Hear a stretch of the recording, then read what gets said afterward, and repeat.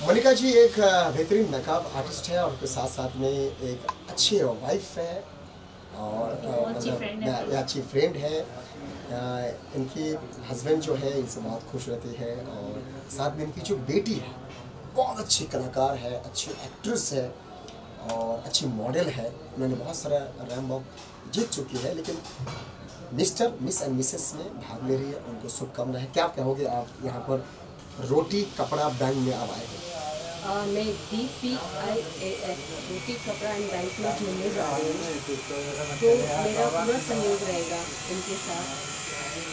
तो आप आप भी सपोर्ट कीजिए।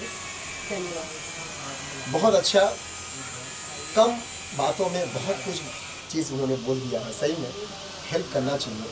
हेल्प करने से आपको सुकून मिलता है, दिल को सुकून मिलता है अच्छा रात को नींद भी आता है। भगवान ने, प्रभु ने कहा है, जो इस मोड़ में आप हेल्प करो, दूसरा मोड़ में आपको हेल्प करने के लिए खड़े रहेंगे। हेल्प कीजिए हेल्प करना चाहिए, क्योंकि भगवान ने, अल्लाह ने गॉड ने सबको तो बनाया है, सबको तो सब कुछ दिया है, लेकिन हेल्प करने के लिए उसको ही चुनता है, जो मायने में हेल्प करते हैं। तो इन सभी को चुना है भगवान ने हेल्प करने के लिए। इनसे दिल से मैं धन्यवाद करता हूँ, यहाँ पर आए हैं, क्योंकि इस शहर में, इस दुनिया में तमाम बड़े बड़े लोग हैं। उनकी मन बहुत खट्टा है, मीठा नहीं है। क्यों इसलिए खट्टा है क्योंकि उसकी पैसे से बैंक में रहते हैं, किसी को हेल्प नहीं इसलिए उनका मन खट्टा है और इनकी मन मीठा है, इसलिए मिठास की तरह यहाँ पर आके डी पी आई में इन्होंने हेल्प कर रहे हैं। आपको भी धन्यवाद। नंदिनी, मैडम, एक अच्छी मॉडल अच्छी एक्ट्रेस एक अच्छे वाइफ मेरी जो दादा है मुझे बड़े भाई है, उनको खुश रखते हैं।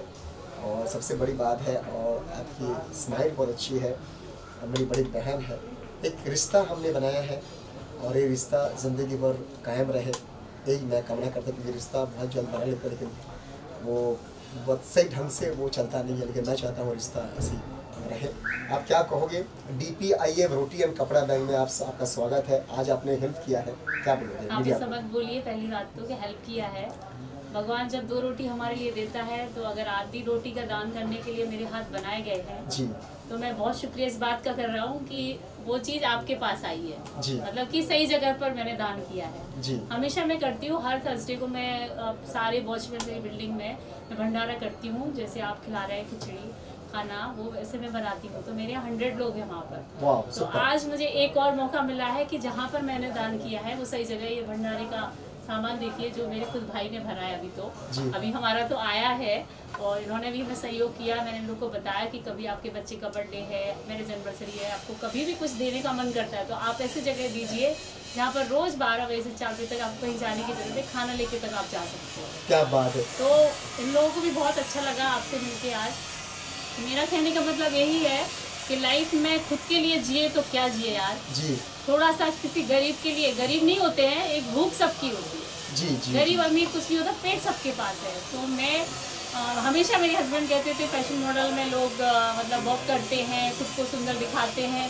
सुंदरता वो नहीं होती है सुंदरता इस चीज़ की होती है कि आप सोशल कोच के लिए भी जुड़िए। एक मॉडल एक ब्यूटी जो ब्यूटी होती है वो ये भी होती है कि आप किसी के पेट को भर के उसकी ब्यूटी बना सकते है। तो मेरा कहना ये भाई जो मेरे काम कर रहे हैं वो सैल्यूट के लिए है। और मैं ये कोई नहीं कि भाई मुझे कुछ यहाँ पर कोई सेटिंग होती है कोई अवार्ड होते हैं। नहीं भाई का सीधा कहना रहता है कि आप नो पैसे। मैंने सुबह भाई से कहा कि मैं पैसे लेके आऊँ उन्होंने नहीं खाना लेके आई है बोरी में। तभी आप चाहे अपना नौकर लेके आइए चाहे गाड़ी लेके आइए चाहे ऑटो लेके आइए चाहे मेरा हेल्पर बुला लीजिए। लेकिन पैसे नहीं लेंगे ये पहला बंदा है मेरा भाई। थैंक यू तो मुझे बहुत खुशी है क्योंकि हर शो में आपसे कैश पेटीएम यही सब मांगा जाता है। तो माफ़ करिए मैं किसी की बुराई नहीं करना चाहूँगी लेकिन ये प्लेटफॉर्म बहुत अलग है अच्छा। और हम 10 मिनट के लिए आए थे और हम अब पिछले तीन घंटे से अपने भाई के साथ हैं और ये भंडारा सिर्फ़ उन लोग को लिए दिखाना चाहते हैं कि जो लोग सोचते होंगे कि देते हैं कि नहीं मैं अपनी आँखों से बारह बजे से देख रही हूँ बारह बजे से आई हूँ। कितने लोगों ने वहाँ खाना खाया कितने लोगों को हमारे जैन साहब हाँ अपने हाथों से खिला रहे थे। वो बंदा भी तो सोचेगा मैं एक बहुत हैंडसम लड़का हूँ इतना टाइम कहीं और वेस्ट करूँ। लेकिन नहीं वो अपने हाथों से खिला रहे थे। वो भाई कलन भाई मेरा छोटा भाई वो खुद परोस के दे रहा था। तो मैंने हम तीनों ने वहाँ वो चीज़ देखी भाई तो मेरे लेट आए थे। तो वो चीज़ जो देखी ना सच में मैं कह रही हूँ आप लोग भी ऐसा अच्छा काम कीजिए। दस किलो बीस किलो जो आपकी मर्ज़ी है वो करिए आप। इतना अच्छा लगा मुझे आज ये दान करके। रोटी रोटी और कपड़ा बैग है हमने जो भी रोटी फेंक देते हैं रात तो मैं अपनी बिल्डिंग वालों अगर ये मेरा कोई देखे बिल्डिंग वाले अगर आपको कुछ कपड़े देना तो मेरे घर पर दे दो हाँ कोई भी चुना नया कपड़ा नहीं चाहिए तो मैं आपको एड्रेस अपने स्टेटस पर डालूँगी आप इनको देके जाइए। जूने कपड़े भी चलेंगे क्योंकि किसी की ज़रूरत नहीं अभी इतनी ठंड पड़ रही है। लोगों को कम्बल चाहिए आपको ब्लैंकेट आप फेंक देते हो कचरे में मैंने कितने बार देखा डस्टबिन में। प्लीज़ आप ऐसा मत करिए लोगों को मदद कीजिए। ये किसी को देने जा रहा है आपको नहीं जाना है। मैं पहली बार ऐसा कार्य शुरू कर रही हूँ कि आप मुझे दे दीजिए मैं भाई तक पहुँचाऊँगी छोटा भाई मेरे घर से लेके जाएगा। थैंक यू थैंक यू आप एक बहुत बहुत एक बेहतरीन जो आज अवार्ड शो हो रहा है फ़ैशन शो हो रहा है उसका आप जूरी मेंबर बन आप बने हो। तो कितना एक्साइटेड है आप? I am super excited because क्योंकि मैं जिधर जूरी बनी हूँ वो कुछ अलग ही प्लेटफॉर्म होने वाला है। जी। कि उसमें कुछ गरीब बच्चे हमारे साथ प्लेटफॉर्म पे हम लोगों के। साथ के हमको बोला जाता है कि अरे तो बहुत बड़ी मॉडल हो मिसेज इंडिया हो। नहीं ऐसा कुछ नहीं होता ये तो एक टैग लाइन है। मगर मैं एक औरत भी हूँ एक माँ भी हूँ तो किसी के बच्चे को लेके हम अपने बच्चे को हमेशा सजा सजा के घुमाते हैं। इस कंपनी का ब्रांड पहनी उस कंपनी का ब्रांड के कभी किसी बच्चे को सिर्फ़ एक नया कपड़ा जिसको नया बोलते हैं, चाहे वो 200 का हो पाँच सौ का हो कैसे भी। आप पहना के दो मैंने भी अनाउंस किया मैं दस बच्चों को अपने साथ मॉडल में चलाऊँगी और। उनको कपड़े दूँगी। और प्लीज़ आप भी ऐसा शुभ काम करिए और जुड़िए। अगर आपको वहाँ पर ऐसा कुछ नहीं कि आप बहुत खूबसूरत है इसलिए आप मॉडल बन सकते नहीं। आप कुछ नहीं आप सिर्फ़ चालीस बच्चे के लिए चालीस कपड़ा लेके आ जाओ।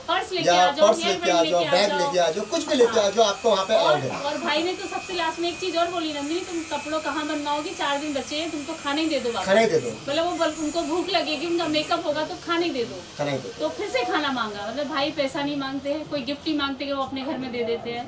तो इस बात को समझिए और आगे बढ़िए। और इस बात पर कभी कोई शक नहीं कीजिए कि ये खाना सीधा हमारे कल्याण भाई खाते हैं ये गरीब खाते हैं। और ये जो भंडारा है ये भाई ने भरा है अभी। ये तो शुरू हुआ सिक्स को लेकिन चलता रहेगा अगर आप लोग सब साथ दीजिए। सब साथ दीजिए बड़े अमीर गरीब थोड़ा सा दान निकालने की कोशिश कीजिए अपने पैसों में से दस परसेंट दो परसेंट एक परसेंट तो बहुत हमारे जो गरीब हैं उनको बहुत मदद मिलेगी। मेरी खुद रिक्वेस्ट है हम्बल रिक्वेस्ट है कि भाई जो काम करे इसको समझने की कोशिश करिए। अगर किसी को शक है कोई क्वेश्चन है तो, तो भाई अंदर आदर्श नगर में आ जाओ। Yes.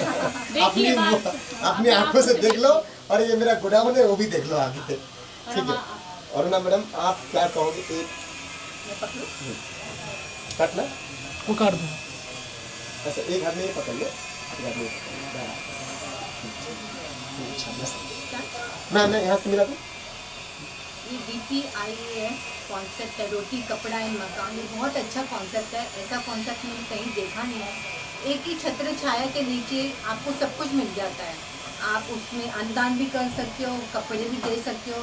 मैं भी करती हूँ सोशल वर्क वगैरह, लड़कियों को मेरे को ढूंढना पड़ता है इधर उधर से। अभी मैंने ये जगह देखी है तो मैं हमेशा यहाँ पे आऊँगी, क्योंकि यहाँ पे कपड़े भी दे सकते हैं खाना पीना भी खिला सकते हैं। और इन्होंने जो रात को रोटी वगैरह बचती है उसका भी एक बैंक बनाया है। जो भी बच्ची कुची है वो आदमी आएँगे आपके इधर कलेक्ट करेंगे और गरीबों को बांटेंगे। मैं चाहती हूँ मैं इतने टाइम से यहाँ रहती थी मुझे इसकी जानकारी नहीं थी। आज मैं इनसे मिली हूँ आज ही अपने गोडाउन में मुझे लेके आए हैं। तो मुझे बहुत अच्छा लगा। आई एम रियली वेरी ऐसे गोडाउन कोई दिखाता नहीं है बॉस हाँ, जो आपके गोडाउन में कितनी माल पड़ा हुआ है कितनी पड़ा है ये दुनिया में ऐसा कोई दिखाता नहीं है। भाई मैं इसलिए लेके आया हूँ जो गोडाउन भी लोग देखे और साथ में ग्राउंड देखने के बाद ये एक बार देखे जो मरा सामान कहाँ है? हाँ, इन्होंने सब कुछ दिखा दिया सब कुछ ओपन है जो भी है सामने है पानी पीछे कुछ नहीं है। और ये कब मुझे इनका ये बहुत अच्छा लगा ये पैसे नहीं मांगते हैं ये बोलते हैं आप राशन दे दीजिए। और लोगों को और मैं सोचती हूँ ये अन्नदान सबसे बड़ा दान है और लोगों की इससे भूख मिटती है पेट भरता है दुआएँ मिलती हैं और इसके अलावा हमें और कहीं चाहिए। मिस्टर एंड मिस आइकॉन जो सबसे बड़ा फ़ैशन शो हो रहा है मिस्टर मिस एंड मिसेस हाँ उसमें आप भाग ले रहे हैं कितना एक्साइटेड मैं बहुत एक्साइटेड हूँ बिकॉज़ मैंने ऐसा कॉन्सेप्ट नहीं देखा है ये हमारे साथ गरीब बच्चे हैं जो उनको चलाएँगे। सोचने का भी नहीं आज आते साथ ही सब ऑफ़र मिले मैं तो बोलती हूँ कि ये बहुत अच्छा दिन है एंड मैं वेट कर रही हूँ चौबीस तारीख का कि मैं उन बच्चों के साथ चलूँगी और वो बच्चों के चेहरे पे जो मुस्कान। और खुशी होगी वो मैं मतलब एक दुआएँ मिलती हैं और कुछ नहीं मिलता है। और प्लीज़ आप ये भी बताइए कि आप जो कंटेस्टेंट आज बनी है उसके लिए आपने कोई पैसे दान किए क्या? नहीं बिल्कुल नहीं कुछ भी अनाज, खाली- वो भी अनाज। खाली अनाज ये खाली अनाज ही बोलते हैं कि अनाज डोनेट करो। ग्यारह आदमी का अनाज दो और आप रैम वॉक करो। And Kalyan ji I wish you all the best and success आप. तरक्की करो और हम और भी लोग लाएँगे आपके साथ जुड़ेंगे हम भी आपके साथ जुड़ना चाहते हैं। अब अभी लगता है हम जुड़ ही गए हैं इनके साथ और कुछ नहीं है। हमारे दोस्त ये सब देखेंगे वो भी आपके साथ जुड़ेंगे। थैंक यू सो मच और थैंक यू थैंक यू और मैं बोल दूँ मैं हमारे टीम में जितने भी लोग जुड़े हैं उन सभी का मैं नमन करता हूँ। मेरे भाई जो है जो खाना सुबह सुबह खाना बनाता है उसका नाम है Milan Jana. Thank you so much Milan Jana. Thank you so much Charlie भाई जो मेरी क्रिएटिव पूरा काम संभालते हैं, पूरा डिज़ाइन से लेके पूरी मेरा ओ टी प्लेटफॉर्म से लेके जो क्रिएटिव काम संभालते हैं। चार्ली भाई आपको दिल- दिल से मेरा प्रणाम।